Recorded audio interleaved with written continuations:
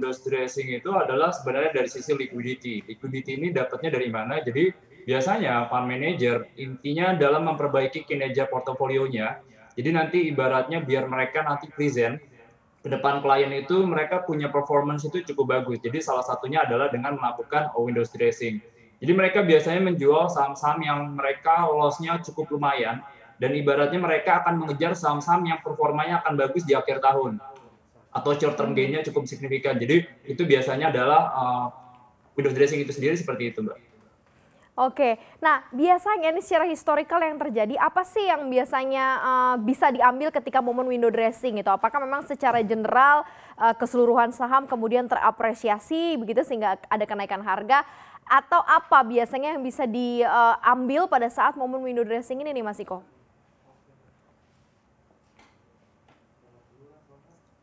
Iya, jadi sebenarnya kalau kita lihat historically dari 10 uh, eh, tahun terakhir itu biasanya performa di bulan Desember itu positif ya, selalu hijau. Jadi kalau kita lihat 10 dari 10 probability-nya min 100%, itu kalau kita lihat indeks itu in average itu rata-rata tuh positifnya 3,1%. Nah, jadi bisa dibilang itu adalah salah satunya didorong dari liquidity yang itu kita bilang itu tadi.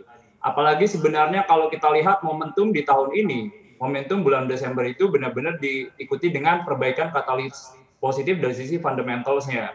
Pertumbuhannya udah mulai pulih. Lalu kalau kita lihat kemarin uh, kinerja emiten juga uh, positif. Lalu di global pun sebenarnya tension semakin membaik ya, semakin jelas, semakin predictable. Jadi itu yang kita lihatnya positif. Jadi Windows dressing ini bukan cuma dari sisi liquidity-nya aja, which itu yang sebenarnya kosong, cuman benar-benar liquidity yang diikuti dengan fundamental. Jadi itu yang kita lihat trennya harusnya positif ya.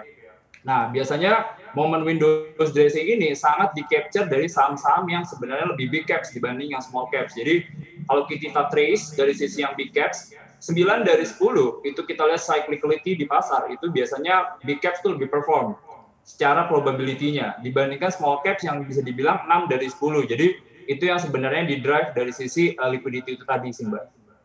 Oke, ini menarik. Berarti kalau gitu mulai sekarang mulai incer saham-saham yang memang big caps ya? Atau seperti apa sih? Kan secara exactly time-nya itu kan window dressing nggak bisa dipastiin nih kapan gitu ya. Yang ada pokoknya ya di awal-awal Desember gitu kan ya. Nah ini apa yang harus dimulai dilakukan terhadap portofolionya investor di saat-saat kayak gini nih Mas Niko? Iya, jadi kalau kita investor, kalau ibaratnya Windows dressing, kita ikutin aja sebenarnya flow-nya bisa dibilang kalau kita melihat pertama yang harus dilakukan adalah kita melakukan backtrack sebenarnya. Historically seperti apa trennya?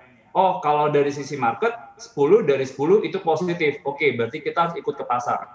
Kita habis itu tinggal pilih tuh dari sisi asset allocation ya.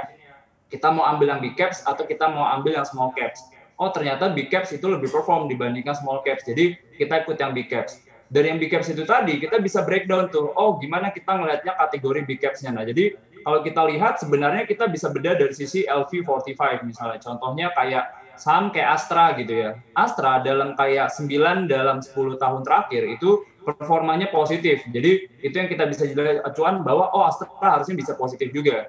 Lalu kalau kita bisa lihat juga SMGR itu semen Indonesia itu juga positif.